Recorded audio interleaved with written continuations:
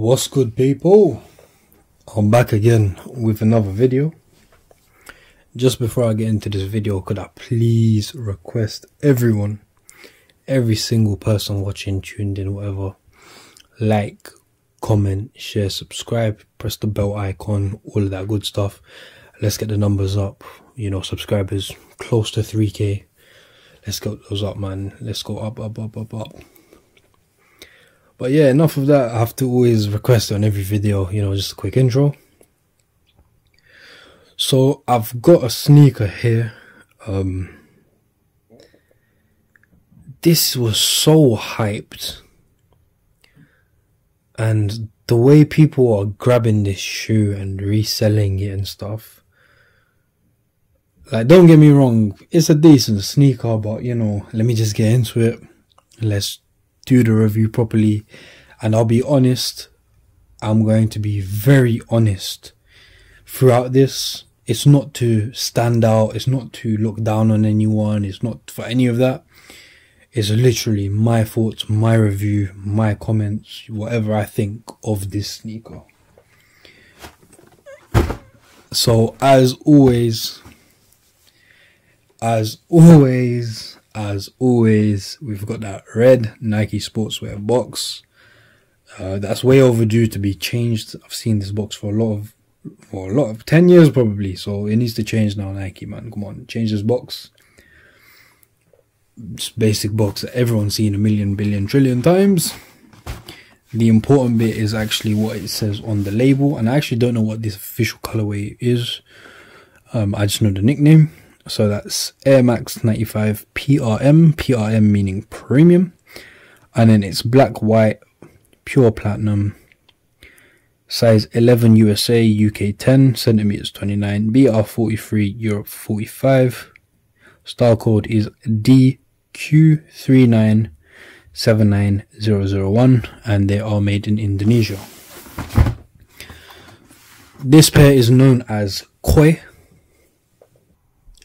and for those who don't know what a koi is, um, it's a fish. It's a type of fish. And that's pretty much it. So wrapped individually or separate, I should say, um, like, you know, Subway sandwiches when you get a foot long and you tell them wrap them separately. I really don't like them being wrapped separately and I have undone the wrapping before so I know what they look like. There we go. But what I'll do is I will also unwrap the other one. Just so we can have something to look at as well. There we go. Nike Air Max 95 koi. So I do understand that these are majorly hyped, like there's resale, all that stuff. I'm just gonna go straight off the bat and say, mate, if you cannot get these um retail and you want to pay resale, obviously I can't stop you, but I personally would not as you know, some people have said this is the most amazing release of 2020 2020, 2022, like they're so special, they're amazing. Oh my god. They're not that great to be honest. I get why, and I'll get into that. Like I get why they're hyped, whatever. Or one of the speculations I have of the hype is, you know, because they were released in Japan first, and when they release in Japan first, everyone thinks they're going to be a Japan exclusive, and then when they get their hands on them, they're like, oh my god, I have the pair. Mm, it's whatever. So it's got like the blue kind of icy midsole. You know, that's decent. Looks kind of different in the picture. Looks kind of the same. Nothing special, to be honest. Um, it does have like little flaws and stuff on it, like within the color. It's whatever. I don't really care for it. Then it's got that plate as it always has. Um, this time it's kind of got those you know, Japan type patterns that they always have on these type of releases.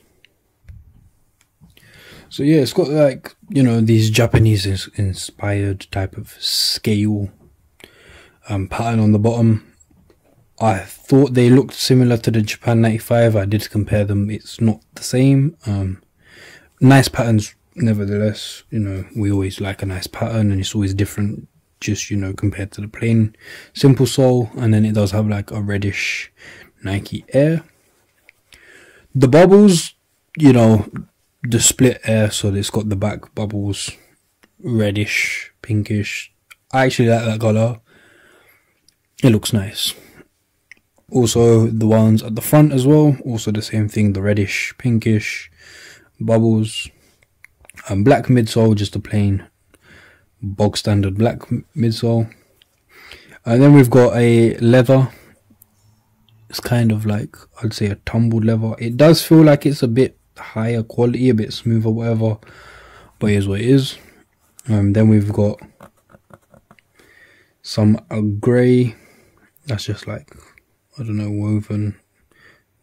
No, it's not.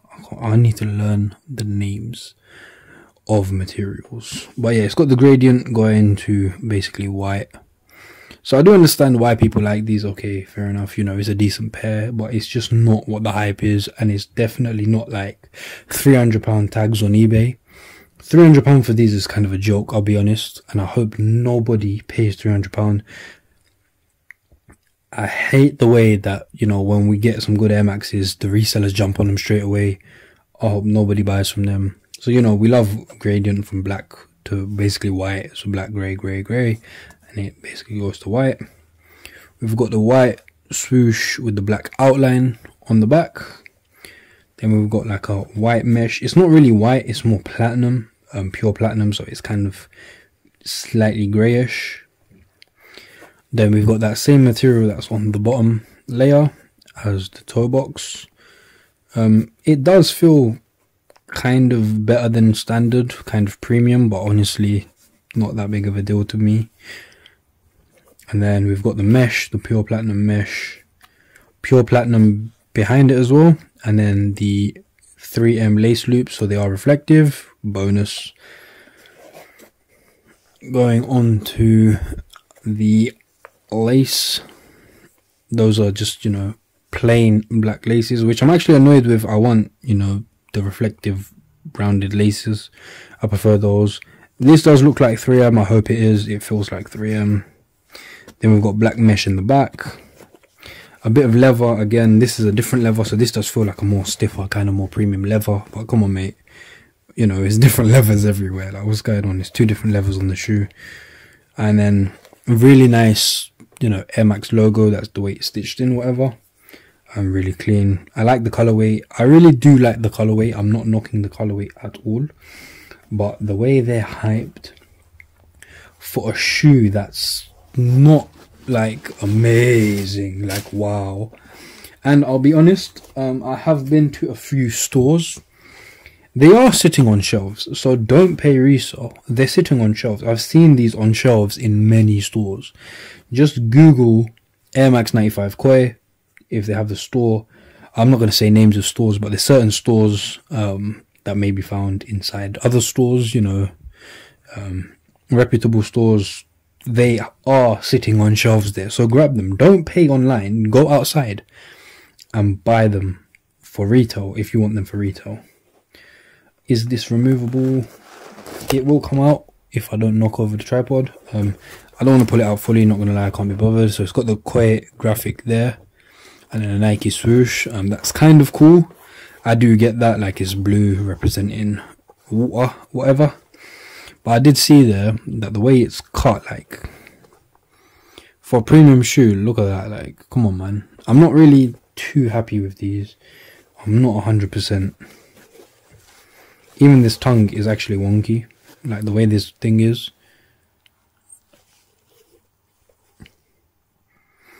No comment. But yeah, just the sizing, the size um, tag and the barcode, etc. It does say this product is covered by one or more patents, and just all the information there, sizing and stuff like that. So it is a nice shoe. Don't get me wrong. I'm not saying it's nasty. I'm not saying it's ugly. Just what's ruined these is the hype behind them. And I really hate that because, you know, I like the graphic, the little scale design, the color, the red, you know, it's nice, the gradient. You know, we always love a gradient pair. But the resellers, you lot, if you're a reseller and you're watching this video, just know I don't like you. Like, it's annoying seeing the resellers suck the fun out of the sneaker game. Leave the Air Max 95s alone, man. Go to the Jordans, go to the Dunks. I'm hoping no one pays resale for these, man. They're a decent shoe. They're not my grails, no way.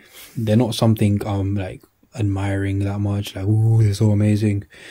Gradient pair, red bubbles, you know. Looks good. Clean pair. It's premium version, so might be a bit better material than the others honestly, I'm so like annoyed at the fact that the resellers are onto this and the hype behind them. Oh, the best pair of 2022. I would probably say the sketch pair is better than these. Like we like the gradient and stuff, but the sketch pair is probably better than these. So the best pair so far 2022, just off the top of my head, is the sketch pair. These are still okay. They probably look way nice on foot nice with a good tracksuit, like a good, you know. I'll be able to rock these nicely, probably better than a lot of people. But yeah. Tell me what you think about these people, man. Tell me if you like them. Tell me if you got them. Tell me if you hate them. Tell me if you rate them. I do have to slightly apologize for the negativity. Um, it has sucked out a lot of this review. But you know, man, when you're waiting for the shoe and it's just not that special, uh, when there's a bit of flaws and stuff like threads sticking out and all that stuff. Um, plus, the amount of hype around this shoe and all that extra stuff it's annoying and it really did take the life out of it. Um, if you have made it this far thank you very much for watching. I'm sorry i've just been rambling and ranting to be honest. More of a rant review than anything. But we move. Let me know what you think of these. Um, i rate them i say 8 out of 10 solid 8 8 and a half out of 10 these would be way higher, or I'd say nine, and a half out of ten, because it's a good colorway, it's a clean colorway. But the resellers, the hype, and all that stuff, the hype beasts have ruined them. Yeah, that's it for me, people. Uh, just wait a few moments for the on foot. Make sure you like, comment, share, subscribe. And as always, take care, people.